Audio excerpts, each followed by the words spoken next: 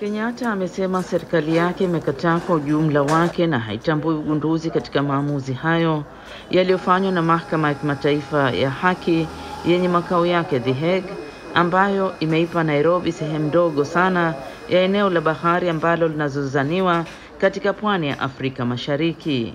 Well, Kenya is not surprised by the decision. Wakati Kenya haijashangazwa na uamuzi huo, lakini ina wasiwasi mkubwa sana na uamuzi huo na athari zake kwa kanda ya pembe mwa Afrika na sheria za kimataifa kwa ujumla. Kuanzia mwanzo, Kenya iliashiria kwamba itapinga maamuzi kwa ujumla wake na haitambui ugunduzi uliopelekea uamuzi huo. in the decision.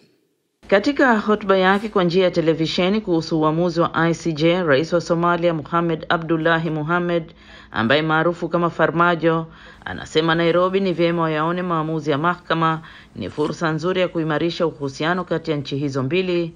Mahakama ya juu ya Umoja Mataifa ilitoa maamuzi yake na kuikabidhi Somalia udhibiti wa sehemu kubwa yenye utajiri wa mafuta na gesi kwenye bahari ya Hindi baada ya malumbano makali sana ya kisheria na Kenya. Waxaan u mahadcelinayaa maxkamadda cadaaladda adduunka Kenya badala yake inafaa yaone maamuzi ya mahakama hiyo kuwa ni fursa nzuri ya kuimarisha uhusiano kati ya nchi hizi mbili na ushirikiano wa watu wetu. Somalia haikuchagua kuwa jirani ya Kenya, lakini iko tayari kwa uwezo wa Mwenyezi Mungu kuishi kwa amani na majirani zetu. Somalia ina nia ya dhati kwa hilo siku zote na inakaribisha hilo hivi sasa. Kati kati ya mzozo wa Somalia na Kenya kulikuwa na mwelekeo kwamba mipaka yao ya baharini ianzie kwenye maeneo ya ardhi kwenda pwani. Somalia ilisisitiza kwamba mpaka wake ni vyema ufuate ule wa ardhini na hivyo kwenye umbali wa maili mia mbili kwenye bahari kuelekea kusini mashariki. Lakini Kenya inasema mpaka wake uko katika mstari ulionyoka kuelekea mashariki na ukipindwa utatoa mfano wa kitu kikubwa cha pembe tatu kwenye bahari. Nairobi inasema inatetea utaifa wake juu ya eneo hilo tangu mwaka 1979. Eneo lenye ushindani linaaminika lina utajiri mkubwa wa gesi na mafuta na pia ni muhimu sana kwa haki za uvuvi. Kenya tayari imetoa vibali kwa kampuni kubwa ya nishati ya Italia Eni, lakini Somalia inapingana na hatua hiyo. Right now we have Kenyan troops in Somalia to under AMISOM.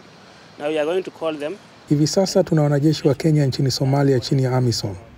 Hivi sasa tutawaita warejee nyumbani na kuwaweka mpakani ili kulinda mpaka wetu, kwa sababu hakuna njia tunaweza kumlinda adui. Badala yake tutalinda mipaka yetu. Kwa hivyo kama Wakenya tunaisii serikali kutetea eneo letu kwa njia zote zinazowezekana, hata kama ina maana ya kutumia nguvu za kijeshi, tutafanya hivyo.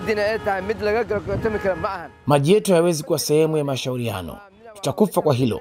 Lazima pia tuitetee nchi yetu kwa fedha zetu. Uamuzi wa mahakama ambao ni wa mwisho huenda ukawa na athari nyingi kwa uhusiano wa siku za usoni wa nchi hizi mbili katika moja ya maeneo yenye migogoro mikubwa duniani. Somalia imeipeleka Kenya ICJ mwaka 2014 juu ya mzozo wa kipande kimoja cha eneo la kwenye bahari. Khadija Riami, VOA, Washington.